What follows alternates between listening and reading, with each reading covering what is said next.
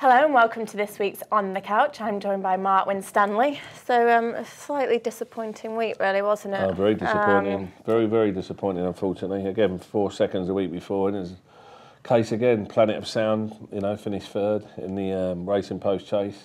Nacarat, you know, again, also give a fair mention to.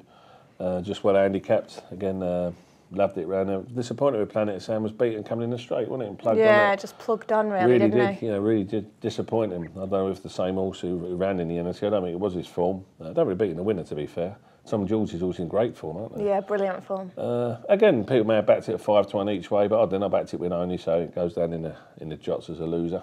And uh, 33 to 1 for the national, would you back him? Not with counterfeit, would you? Not no, that not performance. Really.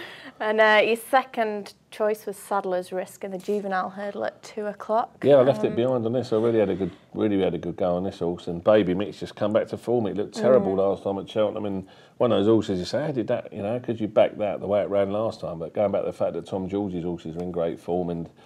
It looked a different horse, Baby Mix. It looked the horse we first see when it came from France when it beat Hinterland, didn't it? Yeah. Uh, I thought Sadler's Risk was a bit special, I must admit. Um, Interesting. I didn't know before the race that the horse was supposed to run at Cheltenham uh, over New Year, and uh, uh, he had a he had a had a bad scope. Mm. So maybe Philip Hobbs wasn't you know that hard on it when it ran the race. And afterwards he said that, didn't he? That yeah. he wasn't 100 percent going into the race.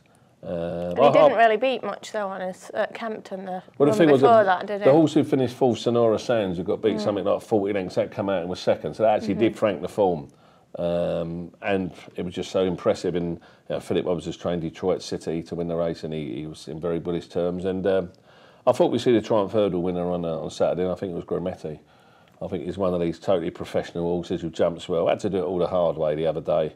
I think it was just hiding in front, and I think the reason Adam ran him was he wanted to give Choc Thornton a feel of the horse. He hadn't ridden him before, already Choc, through injuries. Yeah and I think he's going to be very hard to beat in the Triumph Grumeti. I think he's uh, he's the one they've all got to beat. Okay, and then um, finally you had Minella Class in the 410 who pulled up. Apparently it was the ground Henderson. Yes, very much the ground. Uh, I mean he was I think fifth, fifth or sixth in the. Uh, in the novice hurdle at Cheltenham last year, the Neptune. Uh, I thought he went on good ground. He also got hampered all the way by the, the, the who fell at the first, didn't he? Mm -hmm. I love it. But um, yeah, Barry Geraghty said just wasn't doing the tap on the ground, so pulled him up. Um, Interesting, he also won the race. Crystal Bonus of Paul Nicholls is that had only form on heavy ground all the way through his career, and I thought he'd be the one who wouldn't like the ground. Yeah. Uh, what we're losing the rugby to the Welsh in the last minute scene, and it was absolute disaster of a weekend for me, to be honest with you.